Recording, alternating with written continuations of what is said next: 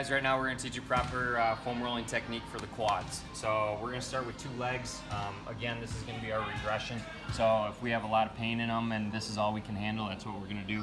Um, we want to stem all the way from almost the top of the knee, and then we're going to try going all the way down into our hip flexors. All right?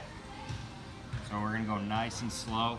Again, we don't want our back sagging so we can get a little bit of core activation out of this. So just make sure we're in that plank position and we're gonna rotate nice and slow.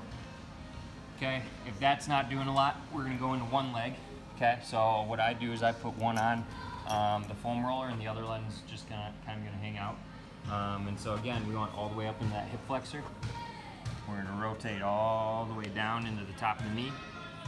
And then again, we can kind of adjust. We can go sideways to hit adductors on the inside, big quad on the middle, and then almost into the IT band on the other side.